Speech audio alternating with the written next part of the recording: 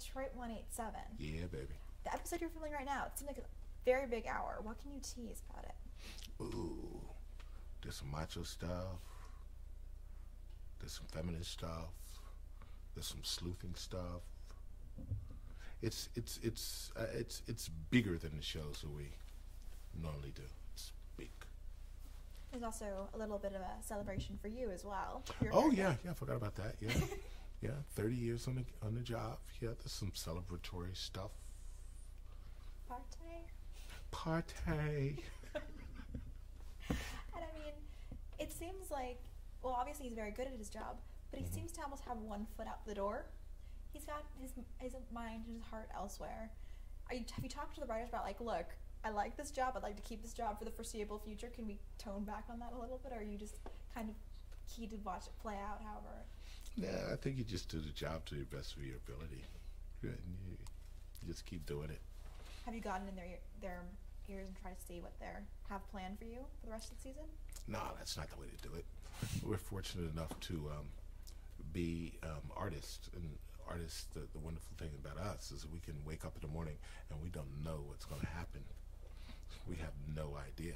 So I, would not want to rob myself of the opportunity of opening a script and then finding out, oh, you know, Longford dances today, you know, or next week or whatever. It's like, how does Longford dance? You know, that's the that's the exciting part of it is not knowing, you know.